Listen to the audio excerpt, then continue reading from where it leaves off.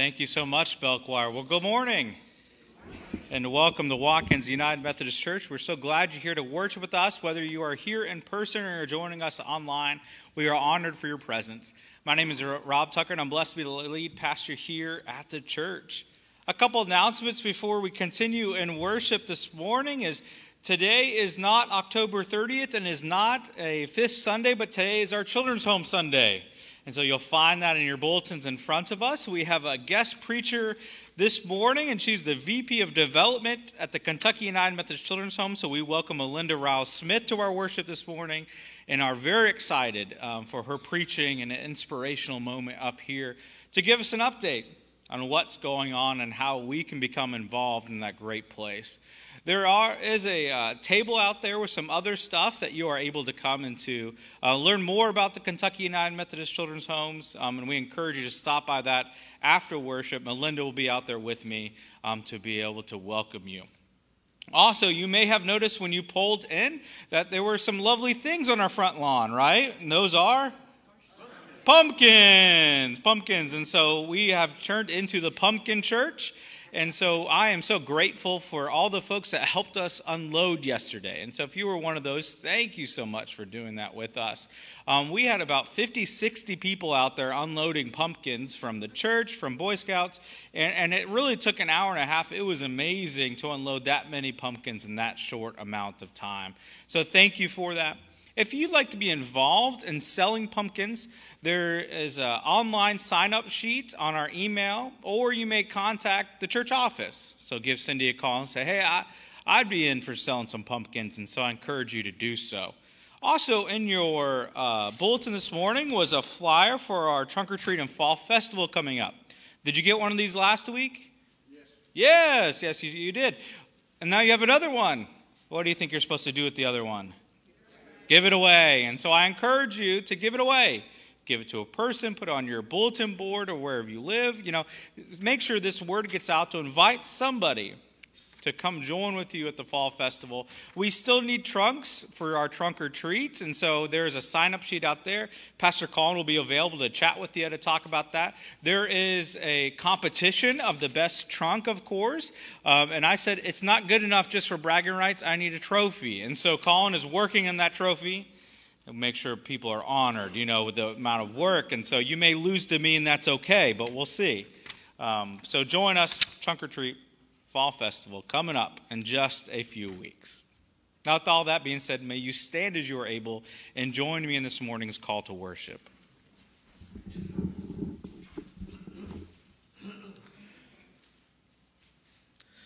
Children of God, welcome.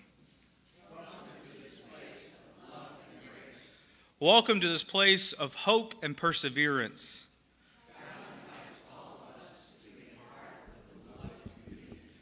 God invites all of us to share in the good news.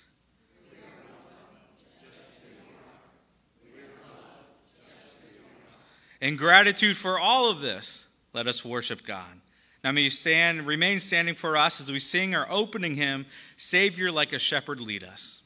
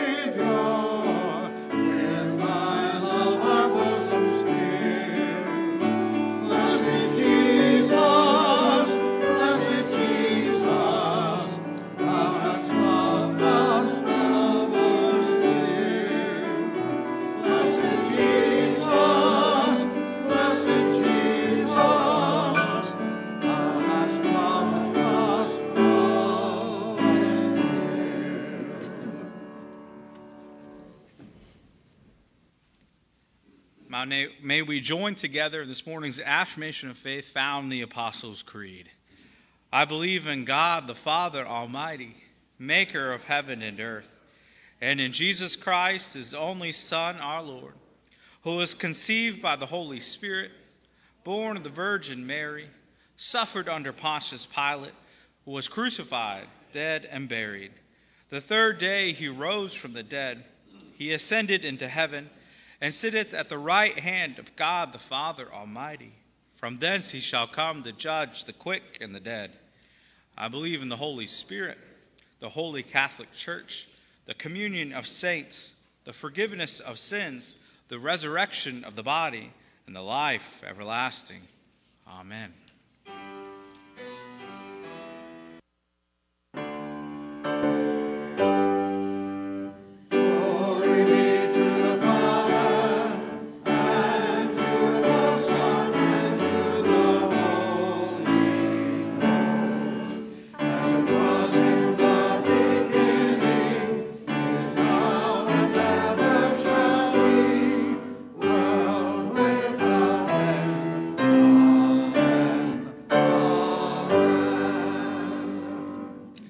Invite you to pass the peace of Jesus Christ with those around you.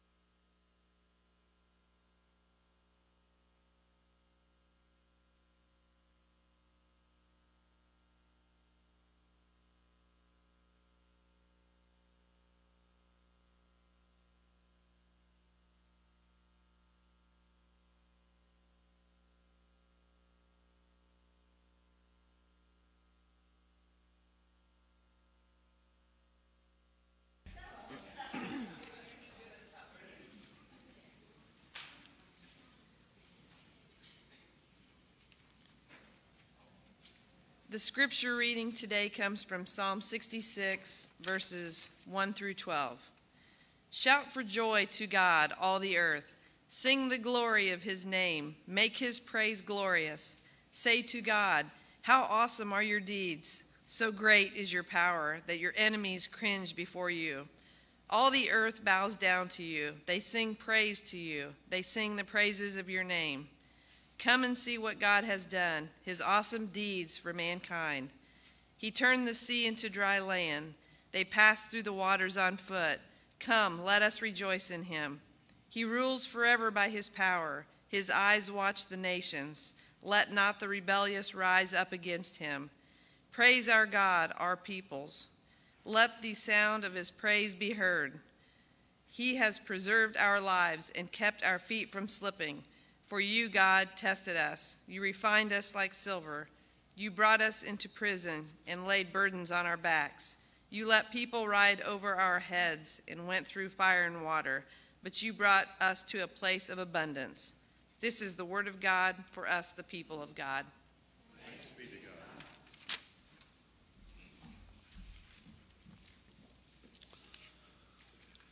Prayers can be spontaneous or deeply contemplated.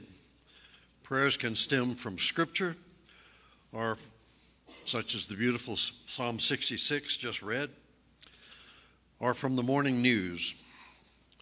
Prayers express long ago experiences, or the joy that morning has broken like the first morning, leading us to praise with elation praising every morning God's recreation of the new day.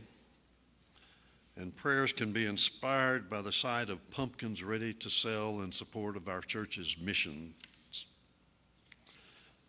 My prayer this morning reflects two recent experiences a worship service at the local Presbyterian Seminary, which focused on appreciation and concern for our Jewish neighbors and a Lions Club discussion yesterday about how inclusive we claim to be, but aren't always. Will you pray with me? Oh God, how awesome are all your works.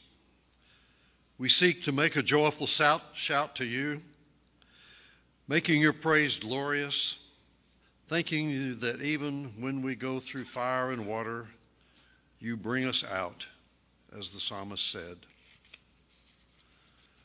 Holy Spirit, help us speak beyond the feebleness of our tongues to express the depths of our fears and hopes, our doubts and faith. As we begin a new day and a new week, we see that it's a time for turning. The leaves are turning from green to red to orange. The birds are turning south once again. The animals are turning to store their food for the winter. For leaves, birds, and animals, turning becomes is in, instinctive, but for us, oh God, turning does not so easily come. It takes an act of, act of will for us to make a meaningful turn. It means breaking old habits. It means admitting that we've been wrong. And this is never easy for us. It means sometimes losing face and starting all over again. And this is always painful. It means saying, I am sorry. It means recognizing that we have the ability to change if we have the will to change, for you are a God of change, and came to our world in human flesh that we might change. This still is terribly hard for us to do, but we know that unless we turn, we will be trapped forever in yesterday's ways. So, Lord, help us turn from callousness to sensitivity from hostility to love, from pettiness to purpose, from envy to contentment, from carelessness to discipline, from fear to faith. Turn us around, O Lord, and bring us back toward you. Revive our lives as at the beginning of our love for you, and turn us toward each other for in isolation there is no true life. Lord Jesus, let us again hear you say that we are no longer slaves nor strangers, but friends and even children, children of our Heavenly Father, before whom we pray as you have taught us Our Father, who art in heaven, hallowed be thy name. Thy kingdom come Thy will be done on earth as it is in heaven. Give us this day our daily bread, and forgive us our trespasses, as we forgive those who trespass against us. And lead us not into temptation, for thine is the, for thine is the kingdom, the power, and the glory forever. Amen. John 3:16 tells us that God so loved the world that he gave his only begotten son. We're not asked to give our children in that way, but we are asked and challenged and enabled to give. We invite you now to participate in the offering that the work of ministry of this church may continue. The usher will serve those of us who are present, those of us who are online. We invite you to send a check or give through Church Center or Venmo.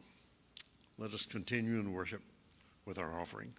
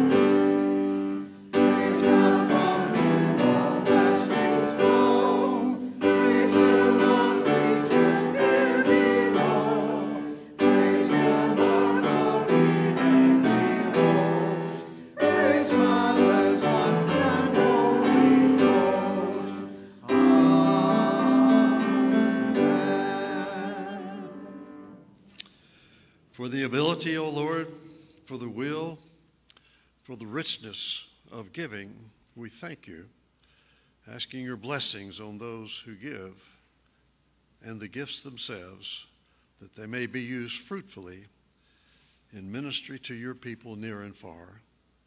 In your holy name we pray, O Lord. Amen. And while you remain standing, please join us together in hymn 141 Children of the Heavenly Father.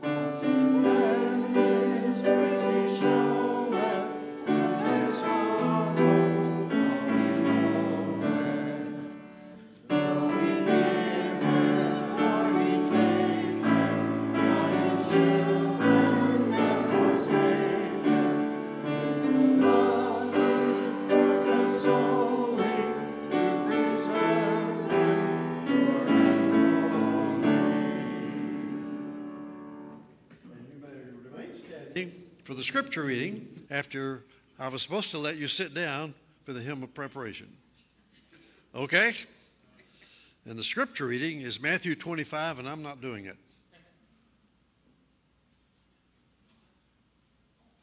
I think you're on.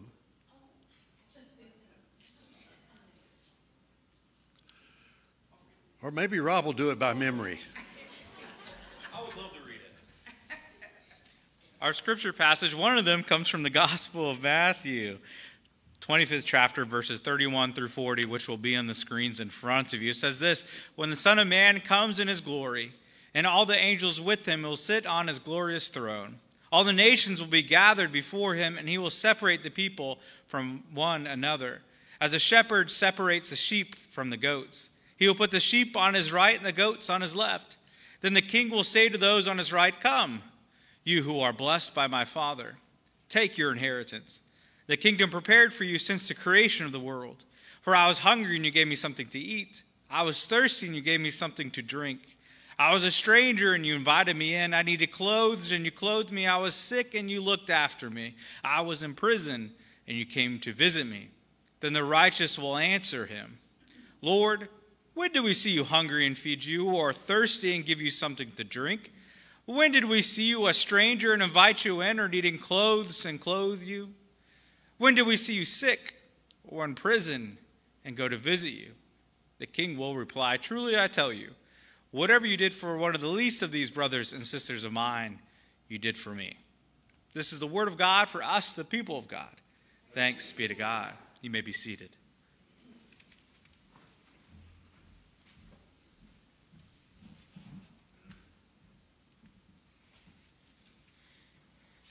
So thank you, Brother Rob, for reading that because I've got a bunch of other scriptures I'm going to read and I didn't want to lose your attention. So um, I just want to say thank you for allowing us to come and share the ministry of the Methodist Home. I want to tell you that this ministry is celebrating 151 years. We started a long time ago before there was ever anything like a children's um, services in Kentucky. There were none. And so we and several other denominations realized there was a critical need, and we stepped in. And we stepped in at a time when widows and orphans had, were destitute. And we helped one by one change their lives. And so I'm here to tell you that we continue to do that. We are in the business of transforming lives for the better. I am celebrating my 33rd year at the Methodist Home. And I share that with you because this ministry is one that really makes a difference. And it has hooked my heart and my spirit, and I have not been able to find anything that would that I could be as passionate about. So I hope when I'm done today, you'll catch a little bit of that fire because this is truly life-changing work that God has sent us to do, and we're doing it. So let me tell you first, my message today is messengers of God. And when I talk of that, I'm talking about you and me. All of us have been sent here as messengers of God. And I have evidence from Scripture to prove that's true. So I'm going to share with you the Scriptures to back up that statement. From James 2 14 through 17, we are called to action. What good is it, brothers and sisters, if someone claims to have faith but has no deeds? Can such a faith save them? Suppose a brother or sister is without clothes and daily food. If one of you says to them, Go in peace, keep warm and well fed, yet does nothing about their physical needs, what good is that? In the same way, faith by itself, if not accompanied by action, is dead. And then Mark 10:45, we're given Christ as the example. For even the Son of Man did not come to be served, but to serve and give his life as ransom for many. And then Ephesians 2:10 God has prepared us to do the good works that he sent us to do. For we are God's handiwork, created in Christ Jesus to do good works, which God prepared in advance for us to do. Before we ever came, He had a plan for us, each individual one of us. And then in John 14, 12 through 14, we're invited to participate in miracles through prayer and action. Very truly, I tell you, whoever believes in me will do the works I have been doing, and they will do even greater things than these, because I am going to the Father. And I will do whatever you ask in my name, so that the Father may be glorified in the Son. You may ask me for anything in my name, and I will do it. And then in James 1:27, we get a specific call to care for widows and orphans. Religion that God our Father accepts as pure and faultless is this to look after widows and orphans in their distress and to keep oneself from being polluted by the world. And then finally, from our social principles of the United Methodist Church, it reads The United Methodist Church believes God's love for the world is an active and engaged love, a love seeking justice and liberty. We cannot just be the observers. So we care enough about people's lives to risk interpreting God's love, to take a stand, to call each of us into a response, no matter how controversial or complex. In 1948, a United Methodist lady, Miss Anna Dalton, demonstrated her faith in action by becoming a messenger of God's compassion to a little six year old girl.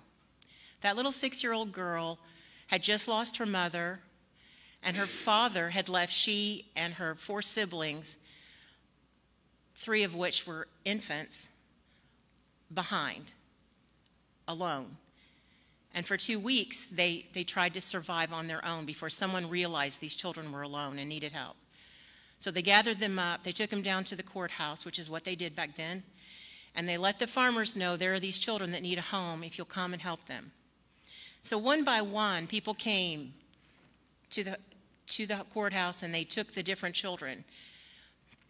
But that one little girl, who was my mother, she wasn't chosen because she happened to have already some of the illnesses of malnourishment, rickets. She also had a lazy eye so severe that when she focused, her, the dark of her eye went all the way to the right. So she looked pitiful. And when Miss Anna Dalton got there, she took one look at my mother and knew no one was going to take her. And even though she had come hoping for a boy to help on the farm, she took my mother in. And in that moment, she changed my mother's life because this woman became the catalyst to changing my mother's life forever. And by changing my mother's life, she also changed mine. One of the things that you may have heard is that children who are resilient are defined as those children who have been able to overcome trauma and yet thrive as adults. And they've found that the one consistent thing that every one of those children have, and this, my mother would be one of those, one caring adult made all the difference. It only took one caring adult. Now, the other children in our family, in, in my mother's sibling group, were not as fortunate as my mother, and some of the people took them in just as servants. So they did not get the nurturing that my mother got, and they weren't as resilient. Miss Dalton brought her in, and she loved her, and she made her feel that she was special. And because of that, my mother learned how to nurture. And because of that, from the moment I was born, I was loved, and I've always known that there's somebody in this world who loves me dearly. We at the Methodist home, that is our goal to become those caring adults that transform the lives of kids. And we're doing it. We're doing it one child at a time. And the kids who come to us now have histories of extreme trauma. In fact, the majority of the children um, who come to us have had issues of abuse, neglect, abandonment, or some kind of family trauma. And uh, particularly in our residential program, our residential program is the one that cares for the most severely hurting children. They're the ones who have been placed in foster care and have cycled through foster care, failing. A lot of times, children fail in foster care because they have not yet learned how to trust adults and therefore don't bond well. And so the foster parents feel like it, it's not working and they move on. So, on average, the children in our residential program have had 20 failed placements. 20 failed placements, and they're only teenagers. So, imagine how many times you have to cycle through a home and through school and trying to make friends again. So, by the time they come to us, they don't believe that we're going to be able to do anything for them. They have no faith, and they don't believe that they're worthy. So, it's our job to to show them differently. I think one of the best ways for you to get a, a glimpse of what these kids feel is to hear their story. And I'm going to cue up, if you'll play Amy's story for us, we'll hear from Amy is a former resident, and she um, obviously is an adult now because we don't share the kids' stories until they're old enough to give permission and, and participate. So this is Amy's story.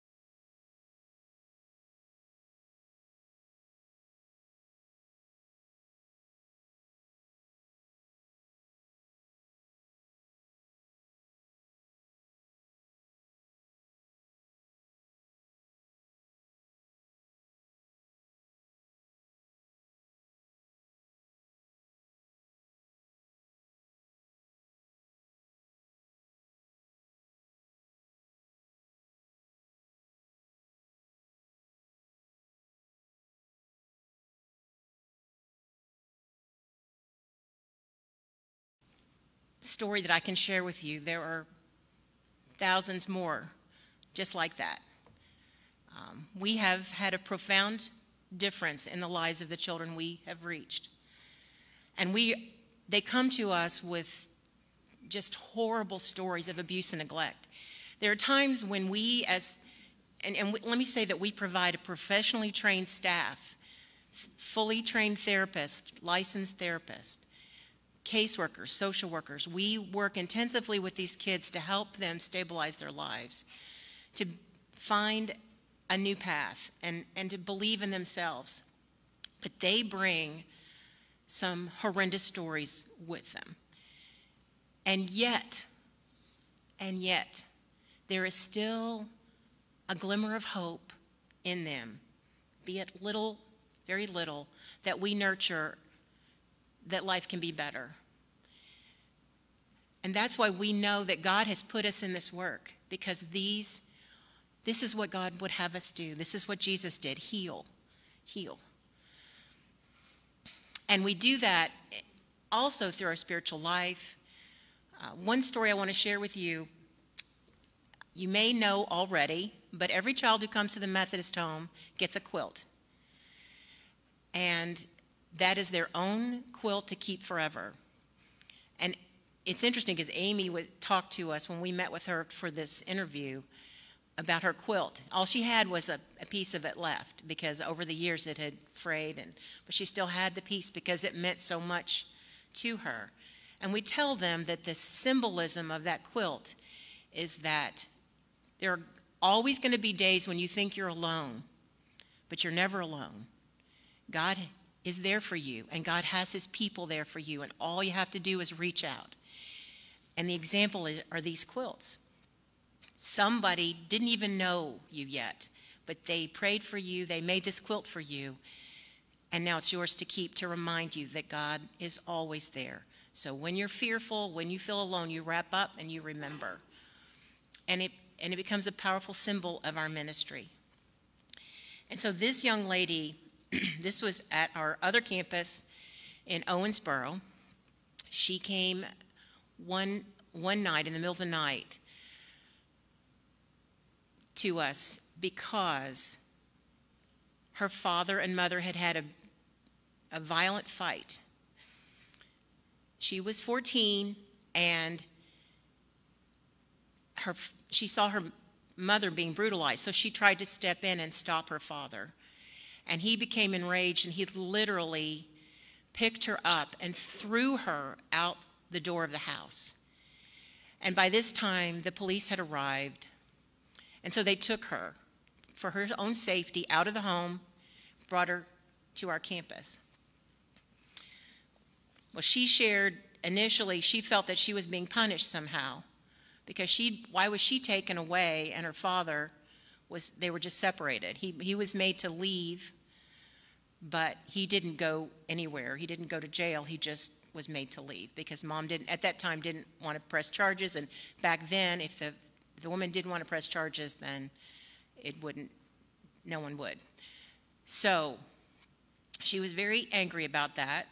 She'd been there two days and it happened to be the chapel service where we give out the quilts. And so one of the things at that time we would do is say, okay, um, ladies, gentlemen, come to the quilt closet, pick out your quilt, because later tonight at chapel you'll be receiving this quilt.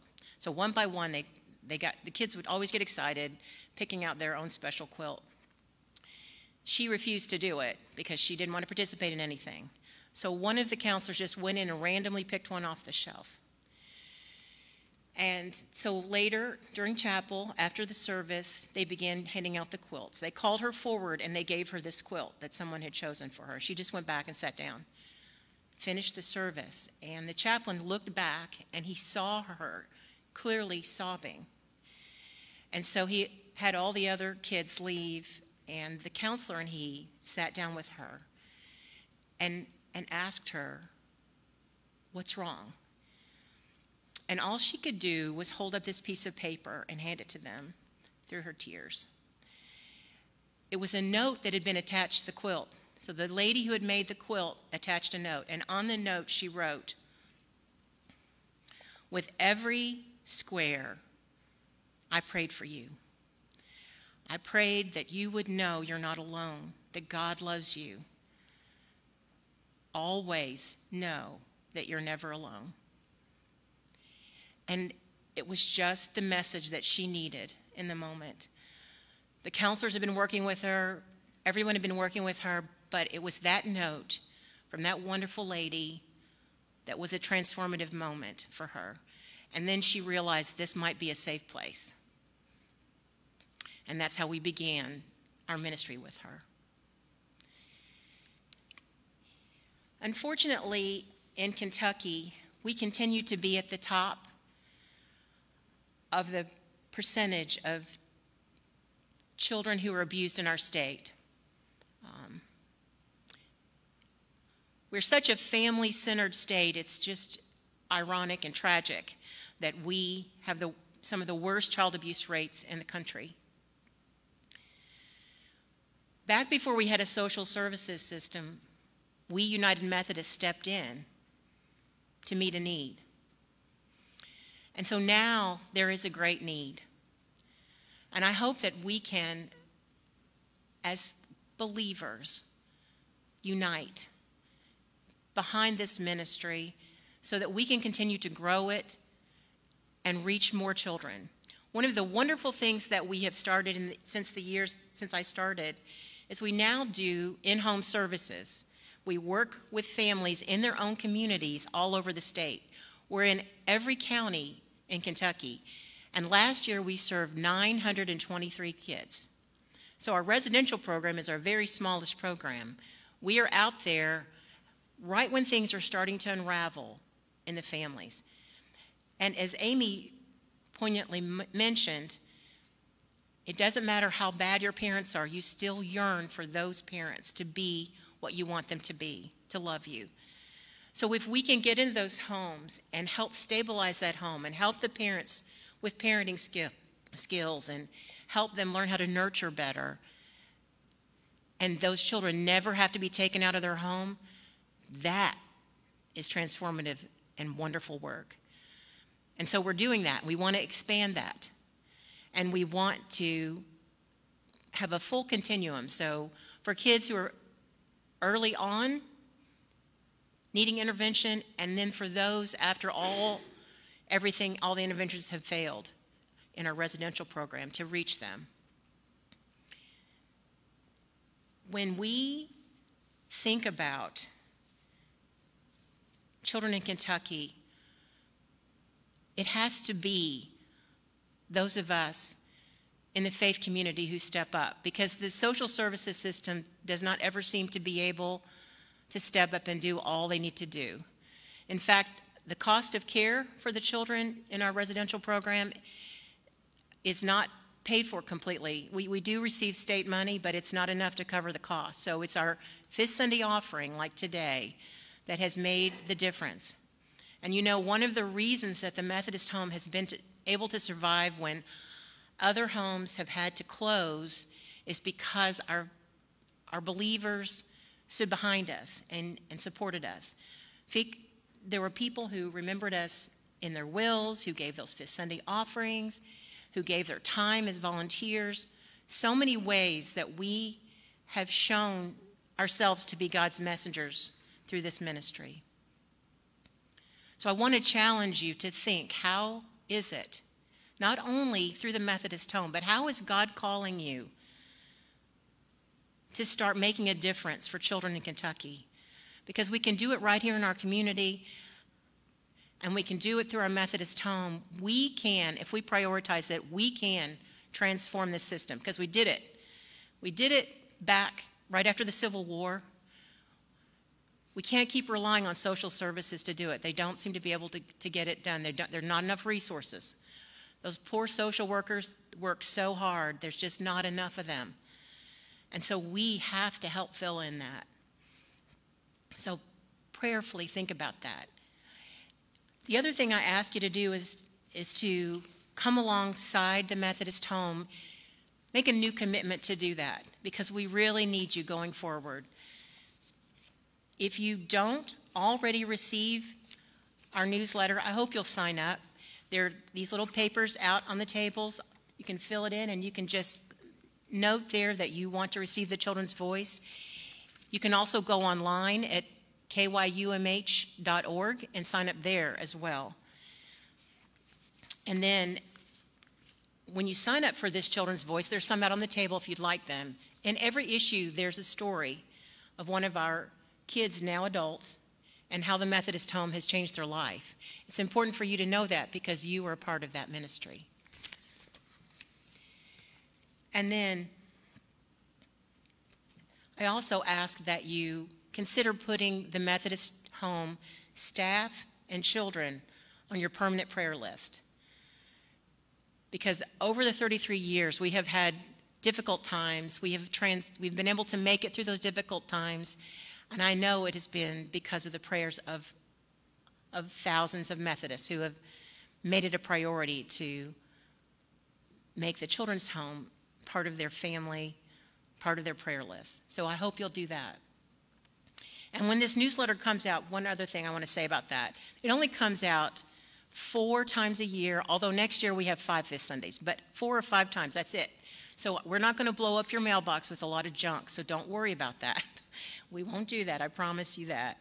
And um, there are also ways to sign up online. We do send a few more notices online, but we also share great stories there, so I hope you'll think about that as well. So, in closing, I just want to say to you that we thank you. This church has been very active in the ministry of supporting the Methodist home. Thank you for that. You are a part of changing lives in Kentucky. And, and these children are the very ones that God would have us serve. They are literally the least of these. They're the ones that others have abandoned, that others have given up on, and we are stepping in there and changing their lives. And by doing that, just like in the case of my mother, we not only changed their life, but we changed the lives of their children and their children's children. That's God's work. Oftentimes, when the kids know that it's my job to share the stories with you, they want me to tell you what they think about the Methodist home. So I'm going to share an excerpt from one of my favorite notes that the kids wrote. Please tell them that the Methodist home staff have made me feel secure and wanted. It's not just the counselors that are here for you. You have friends, teachers, cooks. At one time or other, I've needed every one of them to remind me that I'm not alone in this world. Now I know that I am somebody. Now I know that I am somebody. Thank you for your part in that. Let's pray. Dear Father, we thank you that you first loved us.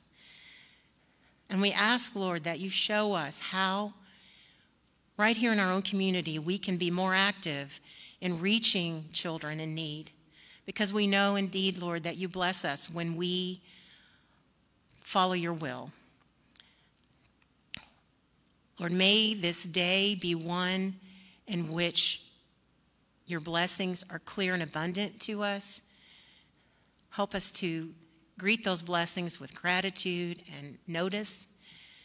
And we thank you for the love in our lives that we've been given. And now help us to share it with others. In your precious name, amen.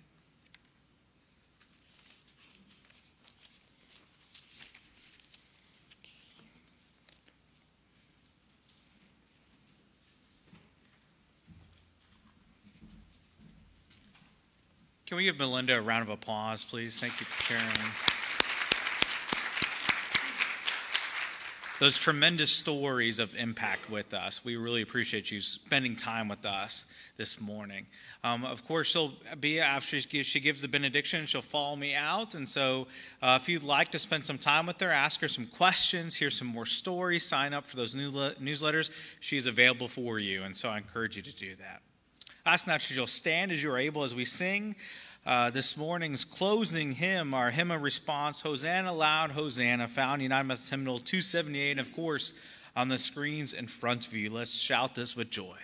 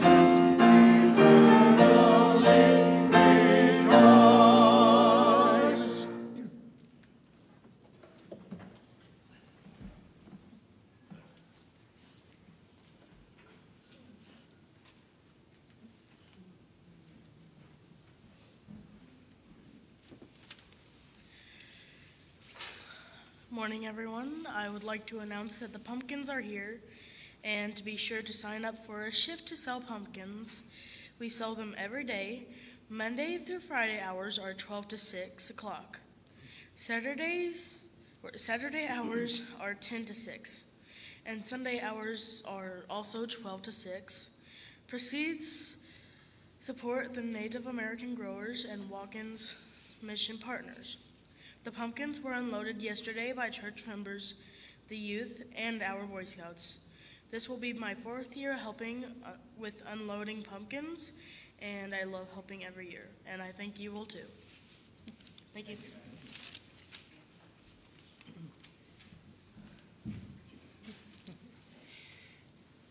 And now may the love of God so fill your heart that you can't help but share it into this world. Take it into this world and take show the world that we are loving people. In your precious name,